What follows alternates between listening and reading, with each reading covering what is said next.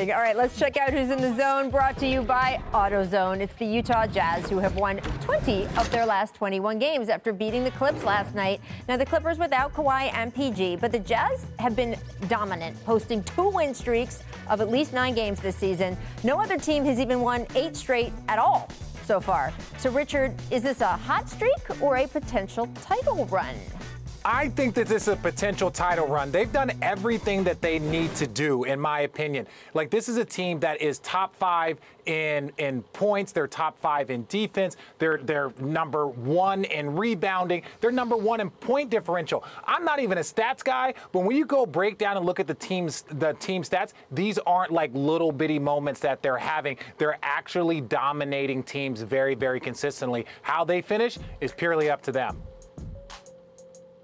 Yeah, so this is a team that was essentially the same roster as they had a year ago, and they've just exploded and blossomed before our eyes. Now, they're healthy and their top competition in the West, the Clippers and Lakers, are not, and health is going to be a, a, major factor. But I don't think I've ever seen a team that has been as close to the Spurs of the, uh, last title run the Spurs had in 2014 as this team is. And they're coached by a guy in Quin Snyder who used to be with the Spurs, and run by a guy in Dennis Lindsey who used to be with the Spurs. They share the ball. They rely on a center to defend the front of the rim. Uh, they run a very democratic offense it took the you know Spurs were in contention many years. It took a lot of years, a lot of things for them to go right, for them to win titles. I think the Jazz are in contention to win it. Whether they'll whether they will, let's wait and see. But man, they're good. Yeah, whew, really fun to watch too. Just they play together, and, and, you can tell that most of that team has been together this whole time in a season where continuity is such an advantage. They are maximizing everything they have to offer. And of course, Quin Snyder, as you mentioned, fantastic this year and every year. And he is going to be coaching the Western Conference All Stars, or I guess whoever the Western Conference player selects on his draft team.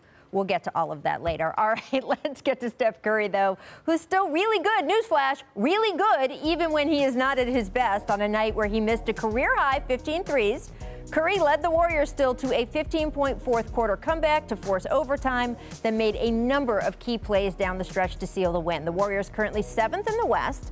So, Brian, we knew once Klay got hurt again, this was going to be a difficult year for the Warriors. And there was a real range, right, in expectations for them or what people thought that they could accomplish. Is the way Curry has come back and played changed your expectations for the Dubs for this season? No, and I don't mean that to sound bad. Like, I thought they were a bubble playoff team, and I expected Steph Curry to be great. I'm one of these people who believe that Steph Curry is a top 10 all-time player. Uh, and like last night, as good as he was, that wasn't even a top 10 top 10 performance he's had this season. It was, you know, he was good at the end, but it was kind of just average for him. And that's how much I believe in Steph Curry. That's how much I believe in the Warrior way. And Draymond Green is putting on a clinic on how to win basketball games without scoring this year. It's a joy to watch him play.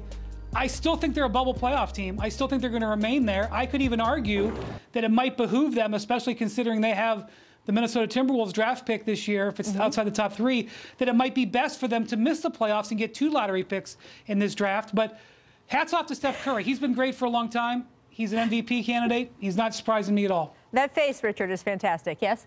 Uh, well, no, I understand. There was a lot of things, a lot of things that we have to unpack that Windy just said. One, top 10 player. I respect that. I cannot wait to see your top 10 list. And I say this, but knowing that Steph still has more to add to his resume. Next part that I, I, I want to talk Three about is. Three titles like, and two MVPs, Rach. Yeah, yeah uh, that's, I, that's a short list. It's a very short list, and he's going to add to that list before he's done, but I'm just curious to hear your top 10.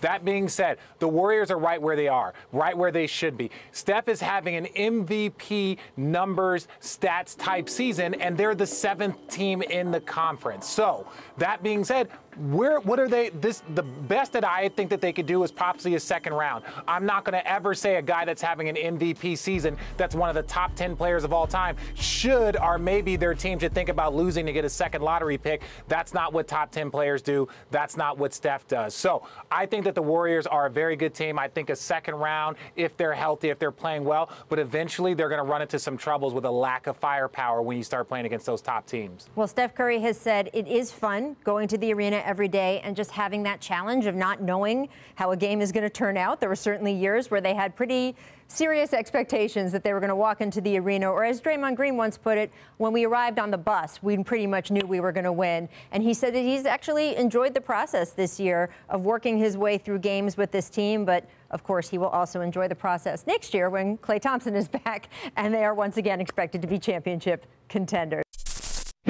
Thanks for watching ESPN on YouTube. For live streaming sports and premium content, subscribe to ESPN Plus.